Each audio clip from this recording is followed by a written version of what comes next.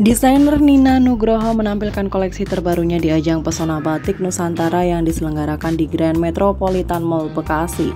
Event itu diselenggarakan dalam rangka memeriahkan Hari Batik Nasional 2022 mulai dari 1 hingga 9 Oktober mendatang.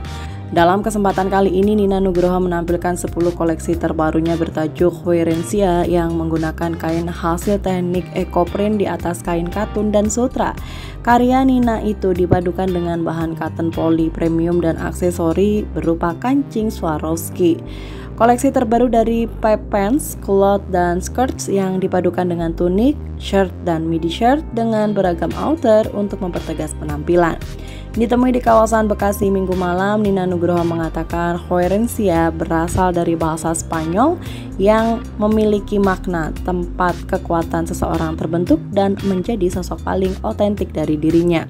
Nina mewujudkan inspirasi tersebut dalam busana dengan garis desain yang tegas, simpel, dan elegan tetapi tetap terlihat lembut dan mewah.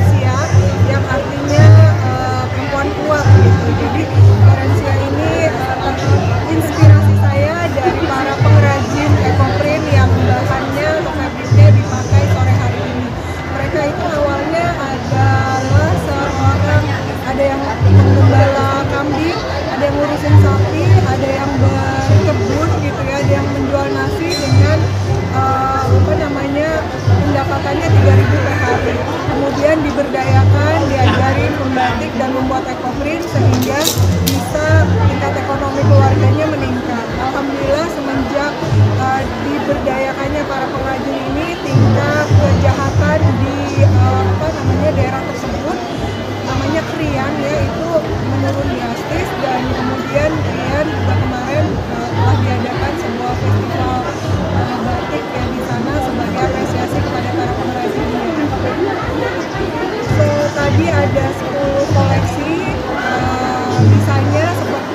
biasa dengan Nugroho pendekatan desainnya menggunakan psychological fashion dan kemudian uh, fokus kepada profesional muslimah grupnya untuk bekerja menemani aktivitas para perempuan profesional untuk beraktivitas di luar rumah atau bekerja